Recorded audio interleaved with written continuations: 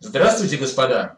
Мое почтение дамам, Жемчужников Алексей Михайлович. Уже давно иду я, утомленный, И на небе уж солнце высоко, А негде отдохнуть в степи сожженной, И все еще до цели далеко. Объятая безмолвием и ленью, Кругом пустыня скучная лежит. Хоть ветер бы пахнул летучей тенью И облако на миг не освежит.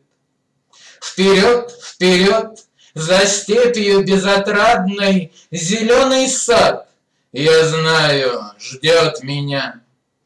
Там я в тени душистой и прохладной Найду приют от пламенного дня.